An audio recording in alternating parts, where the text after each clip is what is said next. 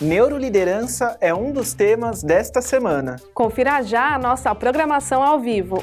No Questão de Direito, o professor Júlio César fala sobre os riscos de perder a casa em um leilão, no dia 30, às 10 horas da manhã. Neuroliderança. Como usar o cérebro a nosso favor. Esse é o tema da Quarta Nobre com Sandra Regina da Luz Inácio, também no dia 30, às 18 horas e 30 minutos. E no Cresce Esclarece, temas escolhidos por você, toda sexta-feira, às 10 horas da manhã. E você pode acompanhar tudo na TV Cresce, no Facebook ou no YouTube. E se inscreva em nossos canais para não perder nenhuma transmissão ao vivo.